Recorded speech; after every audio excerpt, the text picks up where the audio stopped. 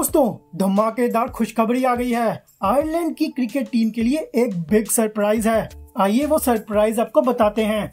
नमस्ते दोस्तों, आप देख रहे हैं स्पोर्ट्स सेंटर न्यूज़ आपको याद होगा, पिछला मैच बारिश के कारण कैंसिल हो गया था। लेकिन कहानी यहाँ खत्म नहीं हुई। जैसे ही बारिश ने मौका छोड़ा, आयरलैंड ने सोचा, ऐसी कौन सी चाल करें जिससे हमारा फ़ायदा हो जाए? गुरुवार को जो मैच कैंसिल हुआ था, उससे उनको मौका मिल गया आने वाले ईयर के टी ट्वेंटी वर्ल्ड कप के लिए क्वालिफाई करने का। कैसे? आइए बताते हैं। आयरलैंड ने इटली डेनमार्क, ऑस्ट्रिया और जर्सी के खिलाफ चार कॉन्जिक्यूटिव मैचेस जीत लिए। Ticket to world cup confirm हो गया उनके लिए। पर दोस्तों, एक और सस्पेंस है। उनका एक मैच रह गया है, जिससे उनका T twenty world cup qualification पक्का हो जाएगा। लेकिन कहानी में एक ट्विस्ट है। कल के मैच की वजह से दूसरी टीम ने भी उसी दौर में एंट्री मार ली। अरे, बारिश के कारण मैच रद्द हो गया। तो अंग तालिका की ज़रूरत थी ना? अब इस महायुद्ध में कौन जीतेगा? ये तो मुकद्दर की बात है। तो रही बात किसका क्या होगा?